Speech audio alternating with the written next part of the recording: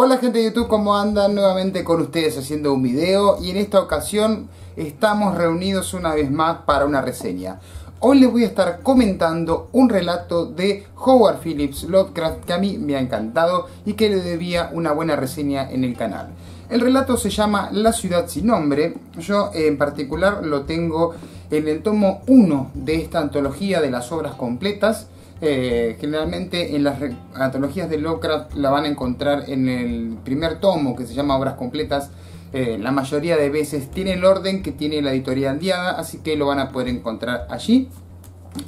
Bien, vamos a contar un poquito de qué va este relato tan aterrador y tan magnífico que me ha gustado muchísimo.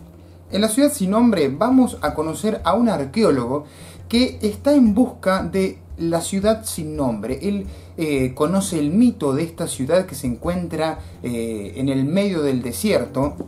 Entonces él emprende una búsqueda para encontrar esta, eh, esta ciudad que no se sabe si es cierta o si es solo un mito, para ver qué hay allí, quién la habitó, qué es la ciudad sin nombre. Entonces este hombre en el medio de Arabia, en un desierto muy hostil, encuentra unas ruinas de una antigua ciudad y finalmente se dan cuenta que ha llegado a su destino, a su objetivo, la ciudad sin nombre. Entonces él pasa los días y parte de las noches explorando esta ciudad, pero no encuentra nada, solo ruinas, arena y una, eh, digamos, una ciudad abandonada de hace muchísimos, muchísimos años. Hasta que finalmente descubre que esta ciudad posee, digamos, unos eh, templos subterráneos y ahí encuentra muchísimas cosas que datan de la antigua civilización que habitaba la ciudad sin nombre. Es aquí cuando comienza lo más enigmático de este relato de Lovecraft, porque él descubre momias de seres que no son eh, humanos, que al parecer lo describe como series, eh, seres alienígenas con formas de reptil algo bastante inquietante. Y es así como en el relato iremos descubriendo esta ciudad sin nombre y ver qué es lo que sucede allá adentro, porque parece ser que los humanos adoraban a estas criaturas que datan de hace muchísimos siglos y qué fue lo que les pasó, cómo eh, llegaron a eso, entonces se convierte en un relato sumamente espectacular e intrigante de Lovecraft.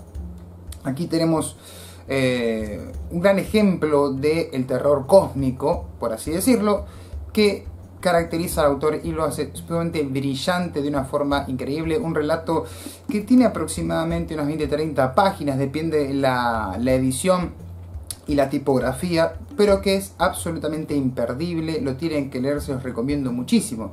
Es uno también de los relatos más populares y más conocidos del autor que la verdad que no pueden perderse me mantuvo intrigado desde las primeras páginas, que es este arqueólogo que está explorando en el medio del desierto, donde no hay nada y encuentra esta ciudad y todos los restos que habitaban, que nos dicen quiénes fueron los que estuvieron en la ciudad sin nombre, de dónde vinieron, qué, características tienen. La verdad es espectacular, se los recomiendo muchísimo. Como es un relato de Lovecraft que se puede publicar libremente, van a encontrar aquí abajo eh, un link a mi blog porque les he subido el relato completo para que lo lean, que no se lo pierdan y lo tengan ya mismo ahí en el blog para leerlo y disfrutarlo como me ha pasado a mí. Bueno gente, espero que les haya gustado este video, les dejo aquí abajo las redes sociales como siempre, el link al relato completo para que lo puedan ir a leer, nos vemos la próxima con un video más.